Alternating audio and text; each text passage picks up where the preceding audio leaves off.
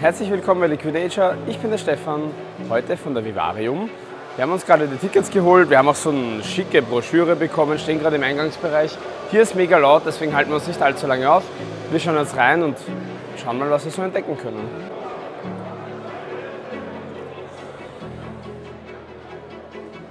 Okay, los geht's. Jetzt erstmal orientieren und dann wir in der Gegend rumlaufen. Aber geil, ziemlich groß hier. Ja gut, also Orientierung haben wir noch keine, aber ein paar Sachen haben wir schon gefunden. Zum Beispiel hier ein Swimmingpool großes Aquarium.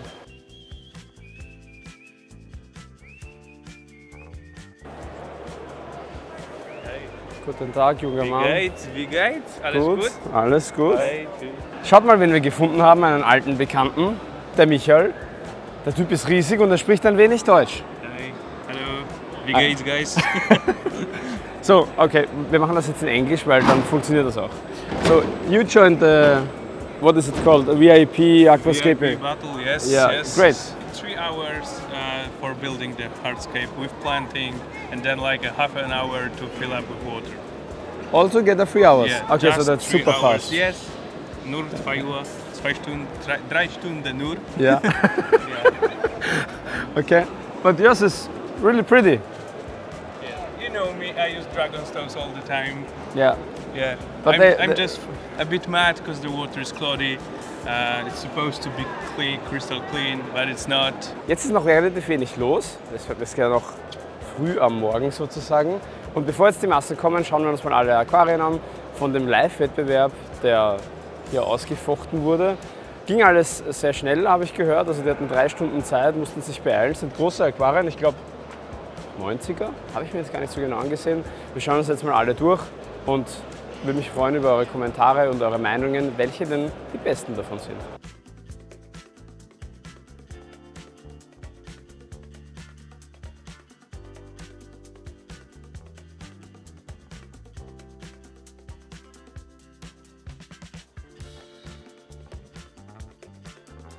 Den Live-Wettbewerb schauen wir uns gleich nachher nochmal genauer an. Die waren jetzt noch alle ein bisschen am Rumfummeln, deswegen hatten wir noch nicht so viel Zeit. Vielleicht kriegen wir auch noch den einen oder anderen vor die Linse und er sagt ein paar Worte.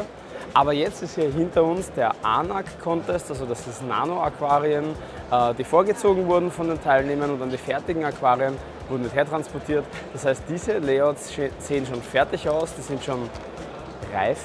Äh, Und da bin ich gespannt, was uns erwartet.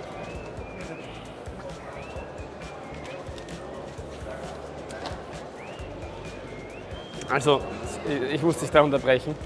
Ähm, die sehen richtig gut aus, gefällt mir gut. Das ist schon mal wirklich stark. Also es sind keine Aquarien, 45p denke ich. Ja, 45p denke ich kommt ganz gut hin. Und es sehen viel größer aus. Also das ist schon richtig High-End hier. Hier gibt es sogar Aquarien, die ein wenig eskaliert sind. Aber das hier hat sogar einen See im Layout. Ich denke, es ist das Epoxidharz.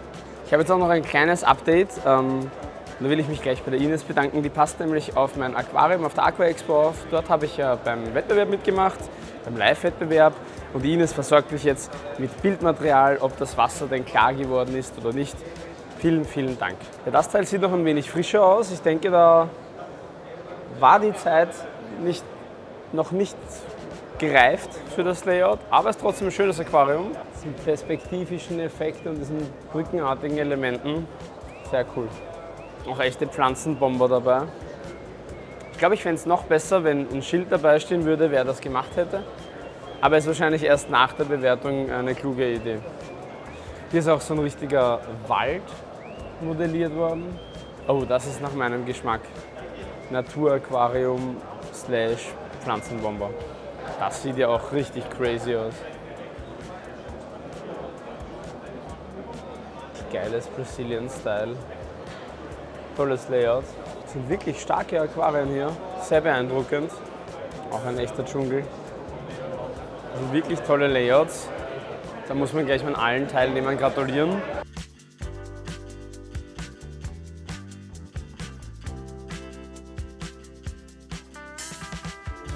Uns ist generell schon so ein Trend aufgefallen. Hier auf der Messe gibt es richtig viel große Tiere. Ähm, Ich glaube, wir haben bis jetzt noch keine kleinen Fische gesehen auf den Ständen. Ist ganz ungewohnt für mich. Normalerweise ist es umgekehrt und alles wimmelt mit Guppies. Aber nein, hier gibt es große Zichliden. Wir haben schon große Welse gesehen. Ähm, Skalare und Diskus waren schon hier. Da gibt es jetzt Erdfresser. Hier noch ein Malawi-Aquarium. Dann gibt es hier noch ein Championat. Und zwar ein Diskus-Championat.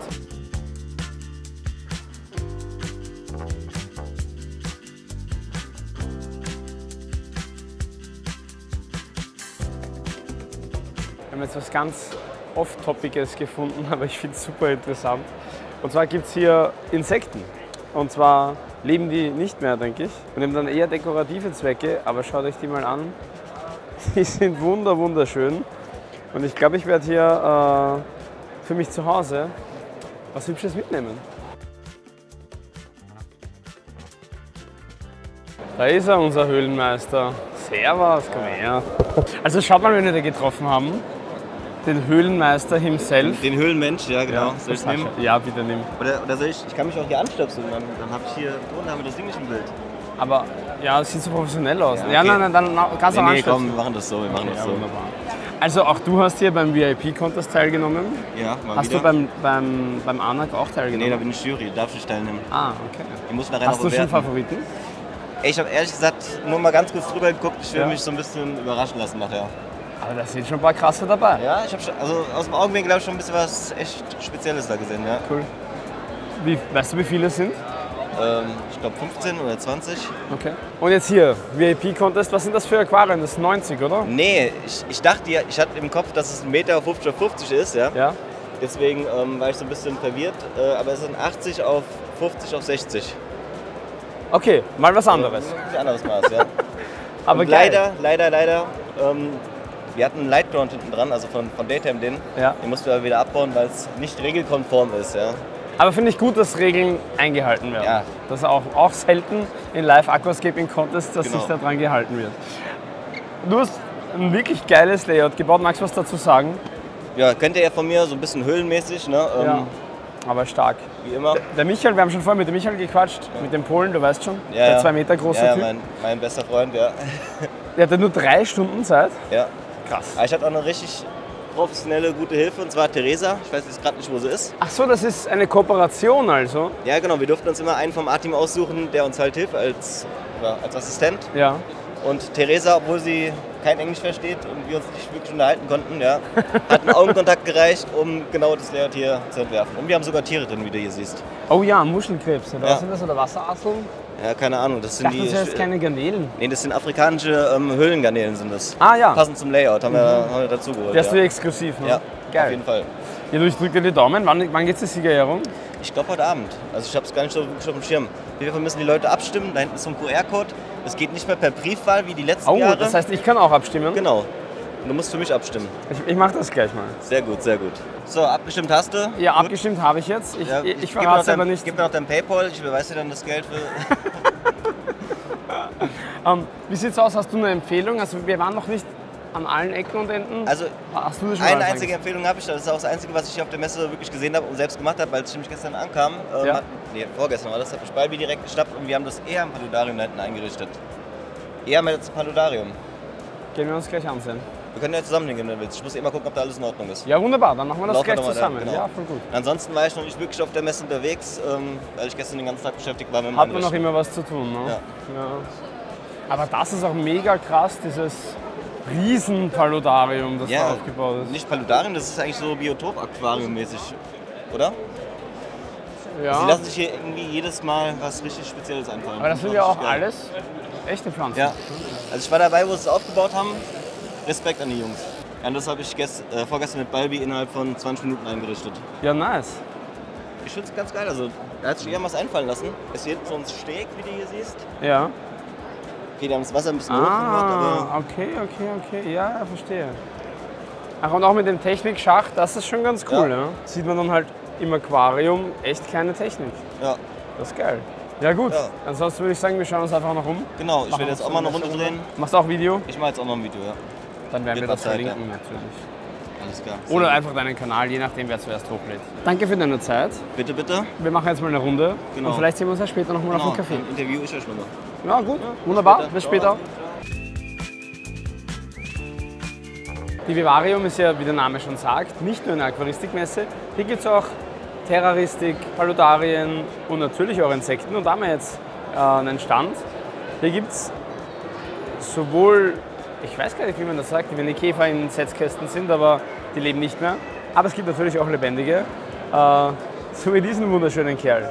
Der schaut so verrückt aus.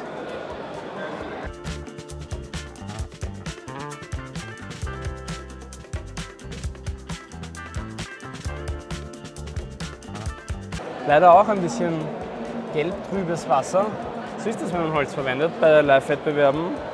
Aber das Layout ist super gut geworden. Sehr, sehr schickes Aquarium. Da ist jetzt nochmal das Aquarium von meinem ewigen Rivalen, von Michael Adamek, ein junger Mann aus Polen. Hat auch einen ganz, ganz tollen Laden, Aqua Show, vielleicht kennt ihr das ja. Und mit diesen Live-Wettbewerben benutzt er ständig Drachensteine, immer. Und es sieht immer gut aus. Auch dieses hier ist wirklich, wirklich wunderschön. Ich habe jetzt schon Mitbringsel für die Family und jetzt sind wir im Meerwasserteil. Und ich habe hier den, den Carol getroffen von Skylight. Der datet mich jetzt ab für die neuen Lampen-Highlights der Zukunft.